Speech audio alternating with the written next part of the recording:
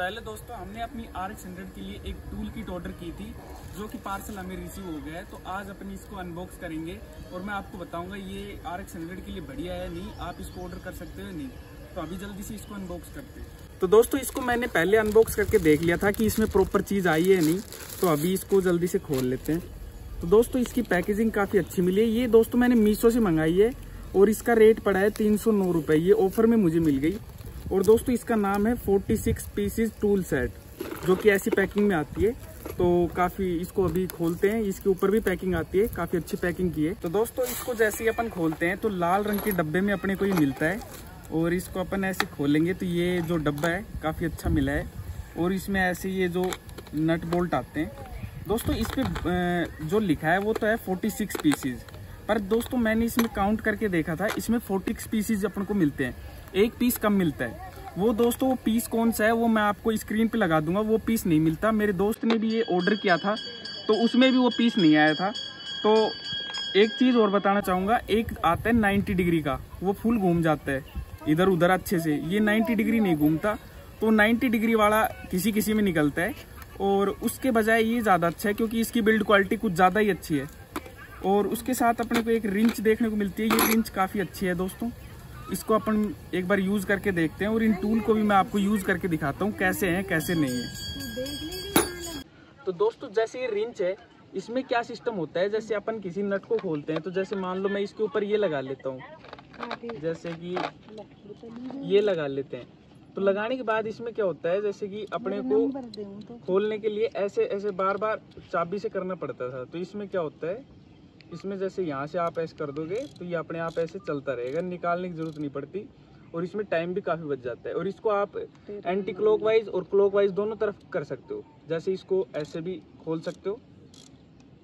तो ये काफ़ी टाइम बचाता है आपका। और इसमें सेट करने के लिए आपको ध्यान रखना सबसे पहले इसको ऐसे प्रेस करना है नीचे, और फिर इसको ऐसे डाल देना है, और इसको छोड़ देना है। तो इसमें फंस जाएगा अच्छे से। इसको ज़बरदस्ती आप ऐसे डालने की कोशिश करोगे तो इसका ये टूट भी सकता है। और दोस्तों मेरे दोस्त ने ये चीज़ मंगवाई थी तो उसने बताया था कि इसमें अगर अपन हैवी बोल्ट खोलते हैं इससे और ज़्यादा ज़ोर लगाते हैं तो ये टूट जाता है अंदर से क्योंकि ये डुप्लीकेट कंपनी के आते हैं ये। तो दोस्तों मैं एक चीज़ बताना चाहूँगा आप इससे जो नॉर्मल नट होते हैं पहले जो हार्ड नट है उसको आप स्पैनर से खोल लें और खोलने के बाद उसको जब लूज करें तब इससे लूज करें। जैसे आप देख सकते हैं एक दस नंबर की मैंने टी ली है और यहाँ पर एक नट है जो काफ़ी अंदर है जो कि खोलना बहुत ही मुश्किल है। एक बार आप देखो। जो आप देख सकते हैं, ये बहुत ही नीचे एक नट है और ये खुलता नहीं है, जल्दी से कोई चाबी जा नहीं पाती तो इसमें ऐसी टी जो चाबी है, ये जा सकती है। तो दोस्तों, अभी कुछ अपने को ऐसी रिंच देखने को मिलती है। तो जनरली इसमें क्या करना पड़ेगा, ये जो टी है, इसको इसमें ऐसे प्रेस करना पड़ेगा और जो दूसरे साइड का साइड है, ये इसमें ऐसे प्रेस कर देंगे। प्रेस करने के बाद अपने को नट के ऊपर इसको लगाना है और इसको घुमाना है। तो जैसे आप घुमाते हैं तो देखो ये नट इजीली खुल गया यहाँ से। वरना ये नट जल्दी से खुल नहीं रहा था दूसरी की से। तो अभी ये काफ़ी लूज हो चुका है और काफ़ी इजीली खुल जाएगा ये अब। मैं आपको निकाल के दिखाता हूँ। तो दोस्तों, ये नट मैंने खोल लिया इसकी की हेल्प से और काफ़ी अच्छी ग्रिप देती है तो ये काफ़ी अच्छा है। पर दोस्तों, मैं आपको सजेस्ट करूँगा आप इससे ज़्यादा हार्ड बोल्ट ना खोलें, क्योंकि ये डुप्लीकेट कंपनी की आती है। तो बाइक और साइकिल के लिए तो बढ़िया है, पर अगर आप कार वगैरह के हार्ड बोल्ट खोलते हो, कुछ ज़्यादा हार्ड तो उसमें शायद टूटने के चांसेस रहते हैं। इसके बजाय आप टपारिया खरीद सकते हो, वो काफ़ी अच्छी कंपनी के आते हैं। पर ये भी अच्छे काम दे जाएँगे, पर आप देख सकते हैं, काफ़ी पतला इसका वो होता है। तो दोस्तों नॉर्मली छोटे मोटे काम करने के लिए तो ठीक है, पर ज़्यादा हार्ड बोल्ट इससे खोल लेना। जैसे कि थोड़े बड़े बोल्ट होते हैं, वो, उसमें ये बैंड वगैरह हो सकते हैं। मेरे दोस्त की जो थी, उसमें बैंड हो गया था, पर बाकी वो बता रहा है कि काफ़ी अच्छी चल रही है उसकी। इसमें आपको सारे स्क्रू ड्राइवर हर तरीके के स्क्रू ड्राइवर देखने को मिलेंगे, और उसके बाद आपको यहाँ पर एल की के भी कुछ ऑप्शन देखने को मिलेंगे, और ये जो इस तरीके का, जो ये दूसरे तरीके का जो ये आता है स्क्रू ड्राइवर वो भी यहाँ देखने को मिलेगा। और तीन यहाँ पर एलन की छोटी वाली देखने को मिलेंगी, यानी कि सारा चीज़ इन्होंने दिया है, जो कि बेसिक अपने को यूज़ होता रहता है डे टू डे लाइफ में। तो दोस्तों, इसको मंगा सकते हैं। कार ये बाइक्स और अपनी साइकिल के लिए तो काफ़ी अच्छी चीज़ रहेगी, पर जिनके हार्ड बोल्ट हैं, उनको मैं कहूँगा कि थोड़े सा रिस्क ना लें। थोड़े नरम बोल्ट हैं वही इनसे खोलें। हार्ड बोल्ट पे थोड़ा ऑयल डालें, उसके बाद ही खोलें। तो अभी इसको अपन बंद कर लेते हैं। और दोस्तों, थोड़ा साउंड एक्स्ट्रा आ रहा होगा, उसको थोड़ा इग्नोर करें, क्योंकि दोस्तों, मैं सबको यहाँ पर समझा नहीं सकता। तो दोस्तों, इसमें सिर्फ़ आपको एक चीज़ का ध्यान रखना है, जो ये वाली जो रिंच है, इससे आप ज़्यादा हार्ड बोल्ट ना खोलें, क्योंकि ज़्यादा हार्ड बोल्ट खोलते हैं तो इसमें अंदर से टूट जाते हैं। मेरे दोस्त की टूट गई थी। पर बाकी जैसे ओवरऑल अपन इसको देखते हैं तो इसमें जैसे आपको सारे तो ये जो पेचकस के स्क्रू हैं, वो मिल जाते हैं, और सारी एलन की मिल जाती है। 46 पीस इस पर लिखा आता है, पर इसमें 45 मिलते हैं। एक पीस कम आता है।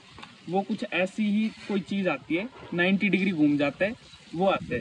तो दोस्तों, ये मेरे दोस्त के साथ भी हुआ था, उसको भी 45 पीसेस मिले थे। और दोस्तों, अगर आपको ये अच्छा लगा तो आप इसको डिस्क्रिप्शन में लिंक है, उस वहाँ से मंगा सकते हैं। और इसके साथ जैसे एक ही इलास्टिक वाला आता है, इससे आप, जैसे कोई कोने में अगर बोल्ट है तो इसको ऐसे इलास्टिक हो जाता है और यहाँ से खुल जाता है। एक दोस्त, इसमें स्क्रू ड्राइवर मिलता है अपने को। स्क्रू ड्राइवर में भी कुछ ऐसा ही है। आप अपने हिसाब से जैसे कोई भी, जैसा भी है स्टार का है प्लस का है, जो भी है, सारे इसमें मिलते हैं। इसको ऐसे जब लगा लें और आराम से आप खोल सकते हैं। ये भी अच्छा आता है और इसमें आप ऐसे ये स्पैनर भी कनेक्ट कर सकते हो।